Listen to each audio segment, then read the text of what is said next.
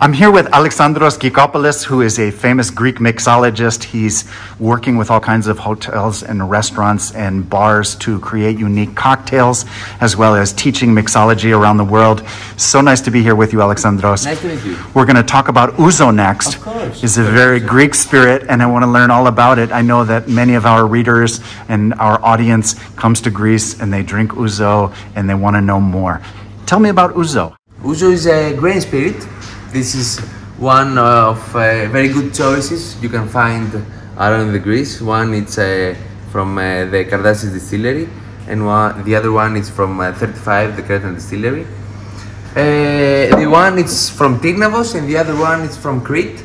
Uh, ouzo, it's when you see it ouzo, uh, and when you call, we call ouzo uh, something from a grain spirit, and with hints of anise inside.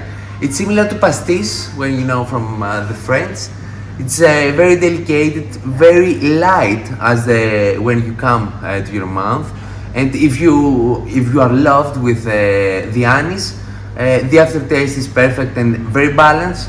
All the tsipouro. Uh, the way you can drink it, it's uh, with ice and uh, two parts of water, one part of ouzo with two parts of water. It's I think it's a, a great uh, dilution uh, for uh, your ouzo. And uh, if you have a cucumber inside, I think it's uh, much more perfect. You can enjoy it under the sun, or you can enjoy it with fish, fried fish, fried vegetables, um, or salads. It's a, very good drink and it's very easy to find different etiquettes here in Greece.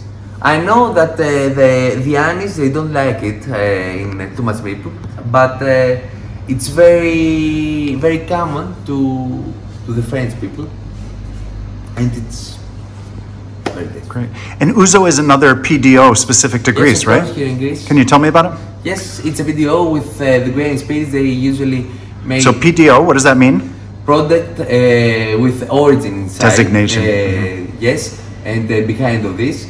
And uh, here in Greece, we have uh, many uh, different uh, places you can find ouzo. You can find ouzo in Peloponnesus. You can find ouzo in Crete. You can find ouzo uh, in uh, the middle of, uh, of Greece almost uh, you can find ouzo in uh, Mytilene. It's a Greek island uh, near to Turkey. You can find it everywhere. And it's very closely identified with Greece, right? When Yes, people yes, think, yes. and uh, it's one of uh, the first products that they became world famous, uh, the ouzo. And uh, when you see in people that uh, they also the, the fresh tourists here in Greece, they also know the ouzo and of course the tsipouro, but the ouzo it's very easy to say it because it's two words, ouzo. Great.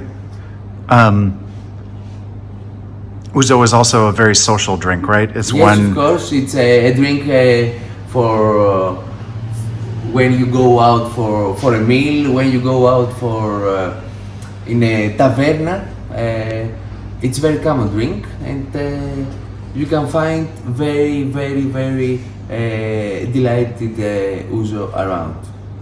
Great. So again, we're here with Alexandros Gkikopoulos. We're talking about Greek spirits. Alexandros is a famous Greek mixologist, and we're learning about these various PDO uh, specific to Greece spirits, as well as talking about how they're used and enjoyed in Greek culture. Thank you so much. Thank you, thank you, thank Great. So we are trying to tell stories about Greek culture and help our re- uh, readers and our audience to know more from their experience. They're enjoying ouzo and raki and tsipouro in various restaurants, and it's great to learn more about it. Alexandros, thank you so much. Thank you.